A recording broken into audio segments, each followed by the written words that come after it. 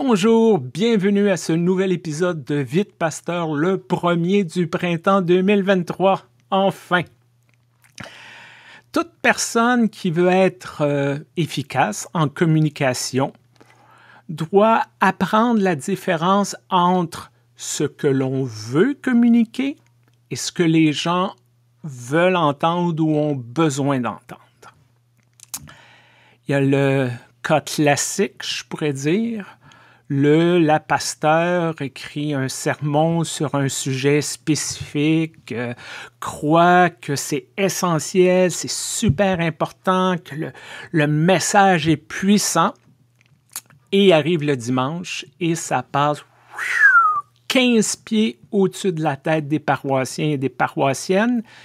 Et ce n'est pas parce que ces personnes sont stupides, Souvent, c'est juste que ça ne correspond pas à la réalité ou au champ d'intérêt des gens qui écoutent. J'ai eu ce petit rappel au cours des dernières semaines. J'en ai déjà parlé. Je travaille avec un petit groupe à la création, l'élaboration de la nouvelle plateforme d'évangélisation de l'Église unie du Canada qui va s'appeler Bon Credo, qui n'est pas encore en ligne. Je sais que ça fait plusieurs mois que j'en parle. Il y a encore des choses à peaufiner, il y a encore des petits pépins et le but, c'est de lancer la plateforme lorsque tout va être réglé. Ça fait euh, un peu pic-pic, comme on dit, lorsque on lance quelque chose et c'est tout croche. Bref, à cette à cette étape-ci, on essaie d'identifier des thèmes euh, porteurs pour euh, des capsules vidéo, euh, des articles, plein de petites choses comme ça. Et on s'est dit, ben, il faudrait faire quelque chose sur la place des femmes dans notre Église. C'est évident, on a un leadership féminin très fort. Par exemple, la modératrice, la leader spirituelle de notre Église, c'est une femme, c'est une femme autochtone. Euh, les premières femmes qui sont devenues, la première femme qui est devenue pasteur, mais c'est en 1936. Alors, c'est bon, on a de quoi dire, c'est merveilleux. OK. Et ensuite, on a utilisé un de ces outils de recherche qui permet d'analyser combien de fois les gens sur Google tapent certains mots. On ne sait pas qui le fait, mais on est capable de savoir est-ce que c'est un sujet qui revient souvent ou pas. Et on a mis un mois à travers du Canada. on se dit, ça va être bon. Et la place des femmes dans l'Église, c'était même pas proche d'être sur le radar des gens. Mais là, même pas pantoute. Un autre exemple, le podcast que je co-anime avec Joanne, ben on s'est dit, on a un épisode qui est supposé sortir le 8 mars, ben on va faire un épisode sur justement les femmes dans l'Église. Puis ben c'est la Journée internationale des droits des femmes. C'est un très bon timing. Il va y avoir de la traction, il va y avoir de l'attention. Le résultat en chiffres de clics, très bof. Mais là, très bof. On voit, on a nos abonnés qui téléchargent, il y a toujours des gens qui découvrent. Pas vraiment beaucoup de gens qui ont découvert, même je pourrais dire, euh, des résultats statistiques, même en deçà de d'autres épisodes préalables. Mercredi dernier, on s'est dit, euh, on va faire un épisode sur le, la religion et le sexe. Bon, un sujet que j'ai l'impression que j'ai abordé 150 euh, 000 fois.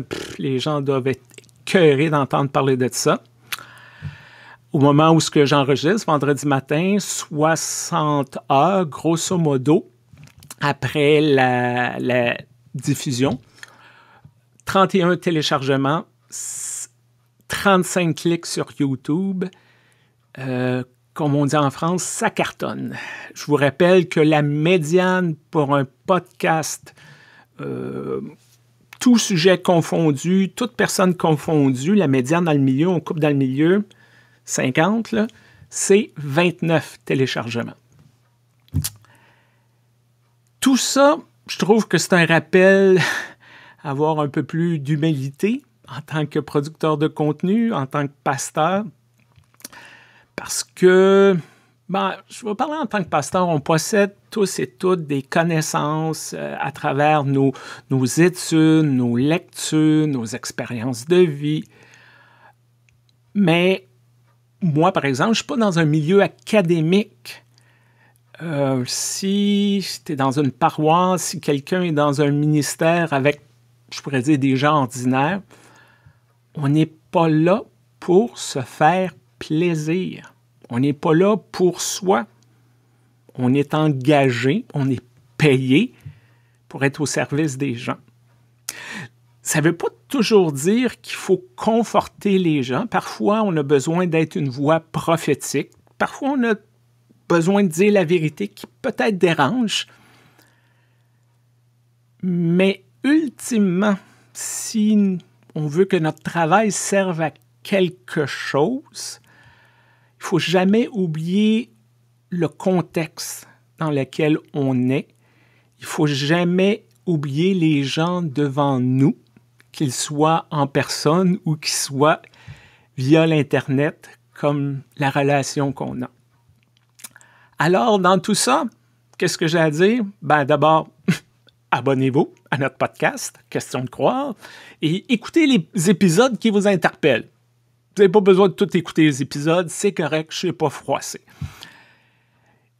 Continuez d'appuyer notre ministère à Sainte-Claire parce que ça nous appartient. Nous essayons de construire ensemble quelque chose. Et moi, en échange, je vais continuer d'ouvrir mes oreilles, d'ouvrir mon esprit, d'ouvrir mes yeux, d'être à l'écoute de vos besoins, d'essayer de comprendre vos désirs et tout ça pour que personne perde son temps, tout ça pour que tout le monde sorte d'une expérience, peut-être pas à chaque fois, peut-être pas à chaque semaine, mais en gros, tout le monde se dise j'apprends quelque chose, ça me nourrit, ça j'y trouve mon compte.